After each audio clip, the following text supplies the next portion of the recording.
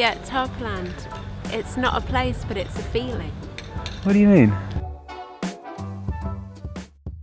It's a magical place where you arrive, all the people and all the environment. It's, it's like a dream, yeah.